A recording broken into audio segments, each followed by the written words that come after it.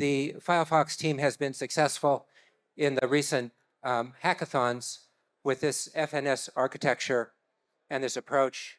Um, what it is, uh, is, is our, our way of using the FVM to provide blockchain as a service with uh, decentralized identity. And here's a diagram that you can't possibly read in the time we're allocated, but I'll just run through it. Uh, with the FVM, we're using 721 NFTs. The Web3 user here can go onto our site, uh, fns.space, to search, register, resolve various names for their identity and content. And then um, there's also a, a, proof of social media that can be integrated into the profile. And um, so this, this is the basic architecture.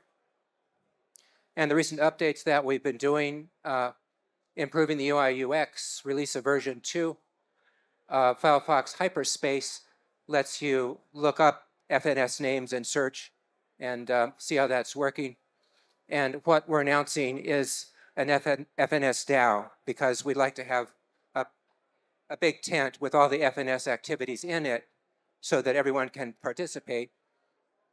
So what we're going to do is um, open source our content. We haven't done that yet. Otherwise, give, I give you the GitHub repository, repository, and and open open up our development to the community.